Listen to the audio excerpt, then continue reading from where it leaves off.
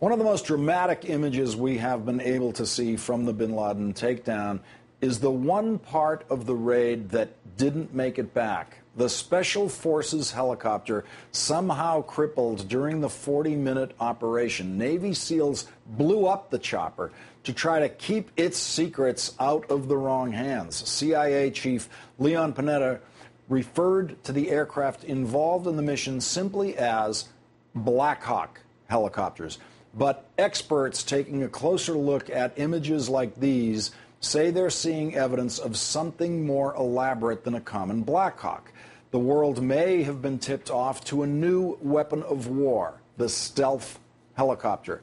Joining me now, David Axe, military reporter for Wired Magazine's Danger Room blog. Thanks for joining me tonight, David. My pleasure, Lawrence. David, uh, what do you make of this helicopter? How much did we know about this kind of uh, stealth helicopter before Sunday night?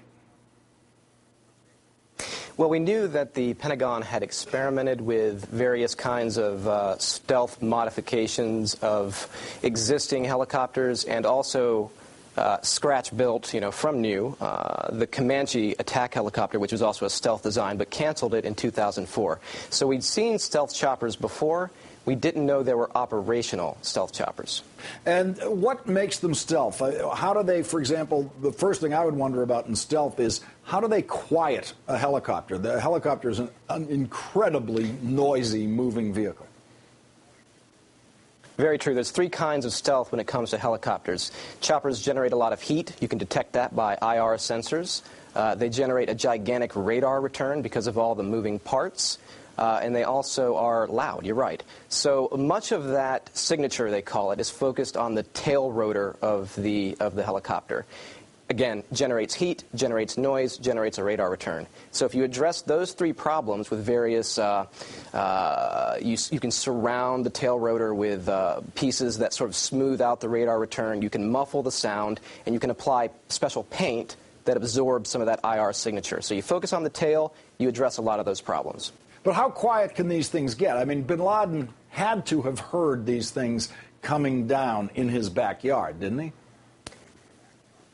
That's true, but I'm not sure that the stealth helicopter was intended to fool bin Laden. I think the reason the Pentagon used its top secret stealth choppers and risked losing them, as it did, uh, was to ensure the Pakistanis could not prevent the raid from arriving at the compound. Now, the, the Pakistanis have custody of what was left there. They've hauled the wreckage uh, away. Are we going to have any trouble getting that back from them?